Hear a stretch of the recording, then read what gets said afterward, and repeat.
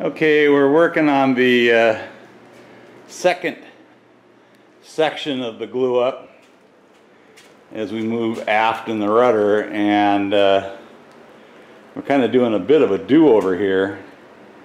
I opened the clamps up uh, after about five hours and uh, even though my shop's warm the uh, the epoxy had not fully bonded so I recoated it and uh, we'll let it sit overnight now. Um, kind of surprising. I'm used to working with uh, waterproof glues and they would have all been fully set or set adequate enough to uh, break the clamp. So my bad. Uh, learning curve on uh, laminating with epoxy. Leave it uh, overnight.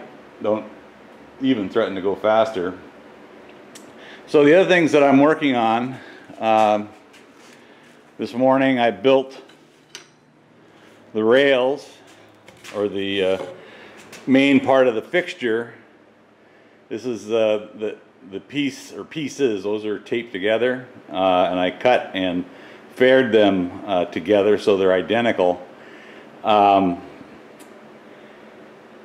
and that's the 40 millimeter offset that you need to run your router over. And so the next thing that I'm doing uh, is building a much bigger faceplate for my router.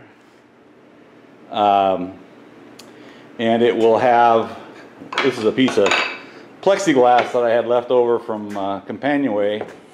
So I'm going to reinforce it. Uh, this will actually be on the top side And these will be on the bottom side,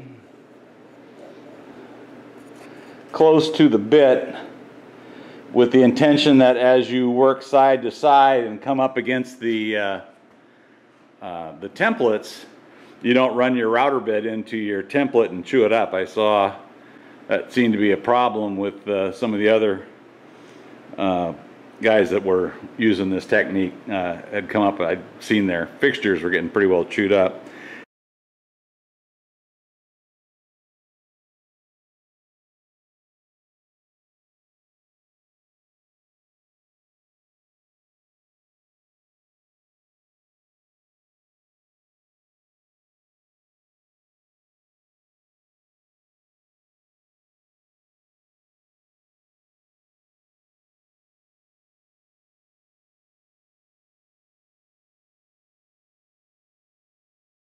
So this is the uh, fixture template that I took off my paper print and then I marked in the uh, foil. And uh, reference the center line and the uh, tail end mark so that I have an idea what uh, I was working to, and I wanted a lot of tail end out here so that the, the base plate of the router had quite a bit of area to, uh, to ride on. So uh, my friend that helped me with the uh, spreadsheet extended the lines out quite a bit further than, or the data, so that the uh, print would uh, extend the lines further. Um, so the shape looks good. And uh, once I get my blank fully built, I'm going to do a couple things. One, uh, what I'll do is I'm going to weigh the uh, entire oak blank when I've got it all glued up. And then I'm also going to weigh the the old original rudder, even uh, knowing that it's saturated and rotten and whatever, and I'll uh, compare that weight to the raw blank, and then uh, once I uh, mill this entire foil, I'm really curious. Uh, I'm, I, will bet that that uh, though that it's a third of the blank, the the raw blank weight when I'm done milling. I'm expecting there to be a lot of sawdust in this process.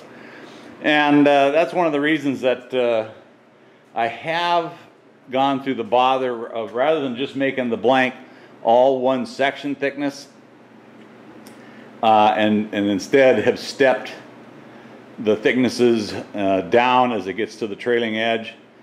Um, and that's just an effort to reduce uh, the massive amount of waste that's uh, going to happen here. There's not a good way to do this, um, I don't think, but I hate wasting wood, and I just don't see a, a better way to, to deal with this.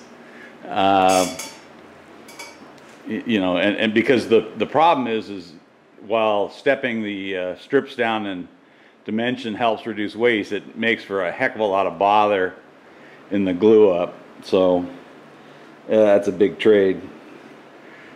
Time messing around versus uh, wasted wood. So just part of the deal.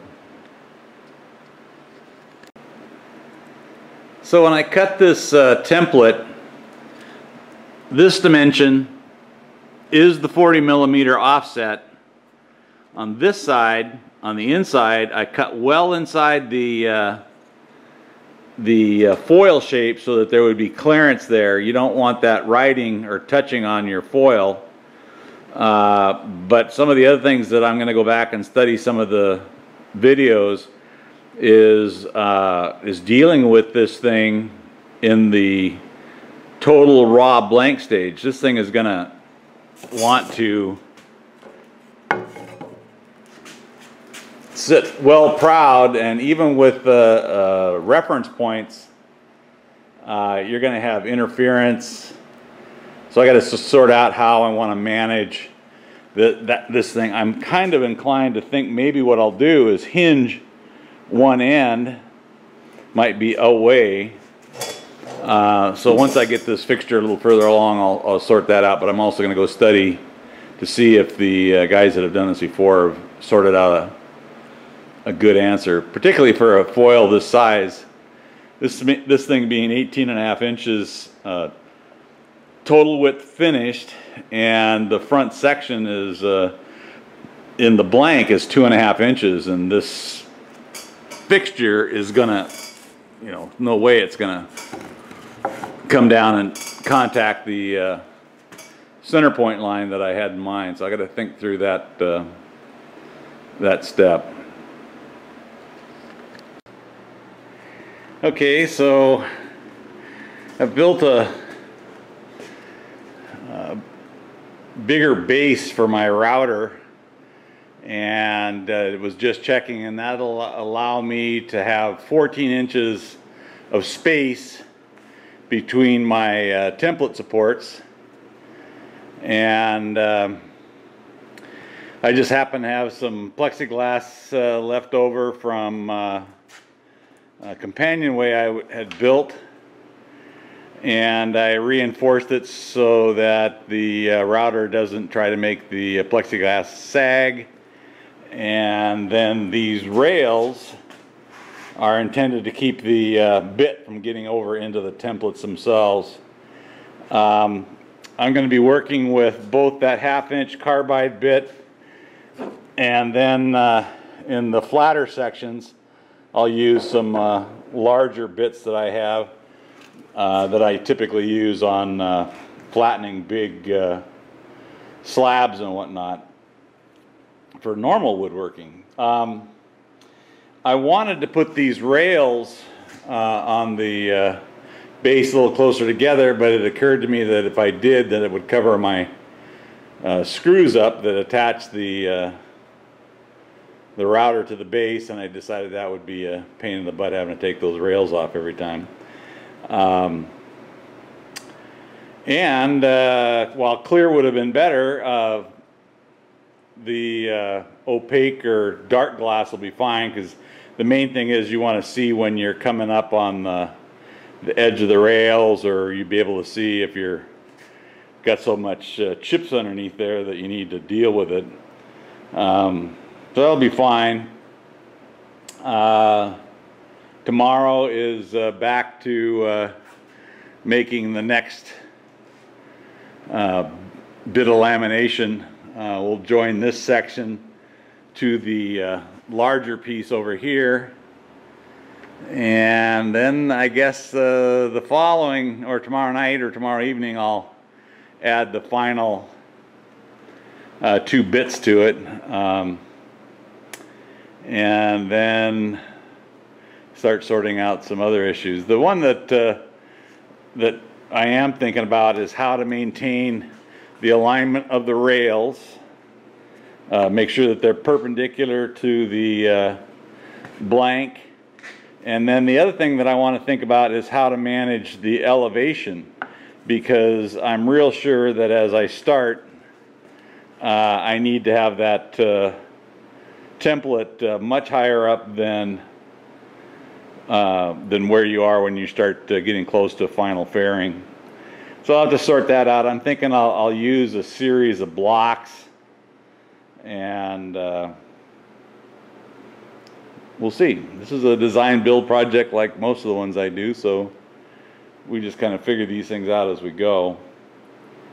And uh, the other thing I think I'm going to do, I'm not sure it's necessary. I have some uh, melamine tape that I could add to this uh, surface to make it even slipperier. Um, so uh, we'll see. Might do that. It would also make it last longer if that was an issue. If I wanted to build somebody else one of these things. Okay,